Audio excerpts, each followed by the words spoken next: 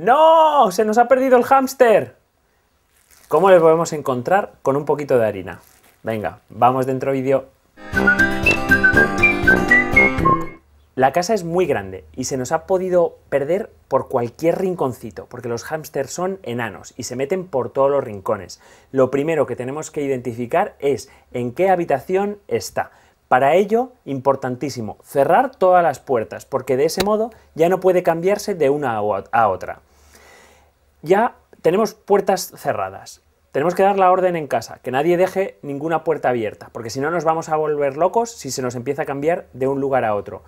Vamos a hacer un pequeño truco. Vamos a coger unos granitos, tres en este caso, y en cada habitación vamos a poner tres granos de la comida que más le guste. Normalmente el trigo es muy buena opción. Pondremos tres granitos en un plato. En cada habitación vamos a hacer este procedimiento, de tal manera que conforme vayan pasando el tiempo y al animal le entre hambre, en la habitación donde, donde desaparezcan los tres granos es en la habitación donde se encuentra el hámster.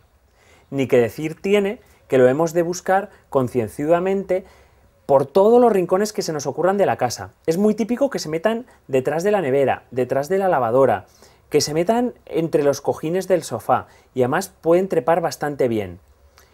Pero os voy a decir otro truco que podemos hacer con harina y es coger un poquito de harina,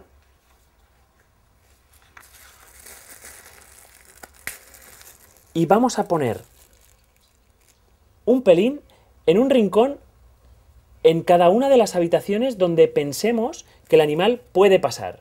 La harina les encanta, huele bastante bien para ellos, porque básicamente es trigo machacado.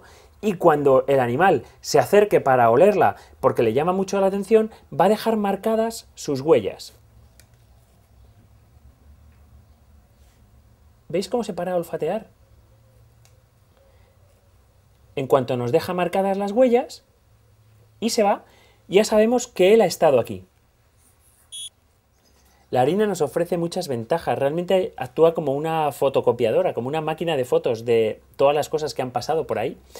Y hasta si os paráis a contar, podemos ver cómo se han marcado los, las cuatro almohadillas de los dedos y la de la pata de atrás. O sea que sabemos que es un hámster 100%.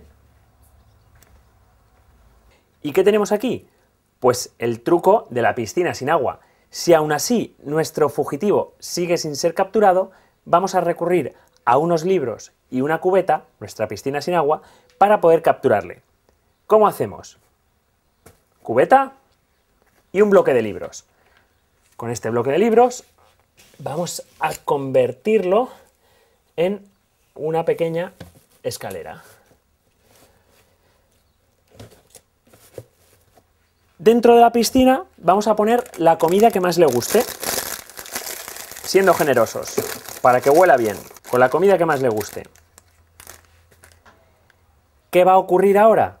Pues que cuando nuestro fugitivo esté purulando por la casa, llegará un momento en que el olor de la comida le llame mucho la atención y como son tan curiosos, va a ir poco a poco subiendo las escaleras y se tirará en un momento dado a la piscina sin agua. Y una vez que ha caído, ya no puede salir. ¡Estás atrapado! Pero nunca debemos descartar la posibilidad de que se entregue voluntariamente. Por tanto, una de las mejores maneras es dejar siempre la jaula abierta para que le entre cuando le dé la gana. Espero que os hayan gustado y si queréis saber trucos como este y muchísimos más, suscribiros ahora que os esperamos en nuestro canal.